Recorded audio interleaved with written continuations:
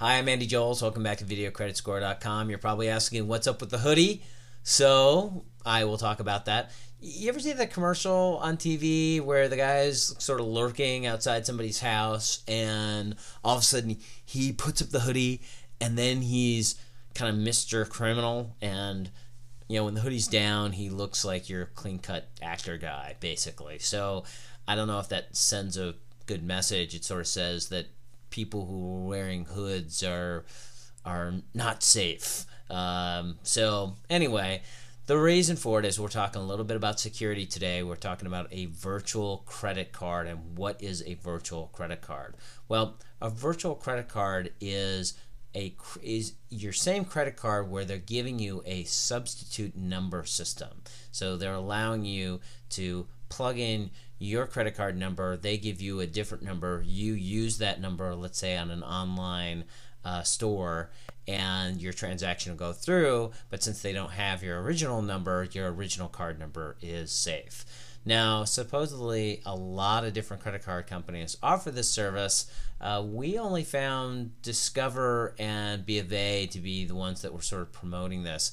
And B of A's is definitely the most flexible. Uh, it's called ShopSafe, and what it does is it allows you to set both an expiration expiration date and a credit limit. So you can say, I only wanted to have a limit of 100 bucks. That way, if your card number is compromised, uh, the limit is going to stop the amount of fraud that can happen against it. And it's obviously going to be a number that you set will be lower than your overall credit limit. Discover Card is a little interesting. It doesn't really offer either of these features. It's more of a exact clone of your card number. So your card number is protected, but a clone number is replicated that has the same expiration date and I'm assuming the same credit limit as your card. So it's not really as flexible as the B of A uh, system. So why isn't that this hasn't taken off? These press releases on these features came out a couple years ago and we really don't see this in wide usage. And really, I think it's because of the merchants. The merchants don't really like this system. It's not really that friendly to them if they've got a service where they're trying to do an ongoing charging or subscription service. That can create conflicts for them.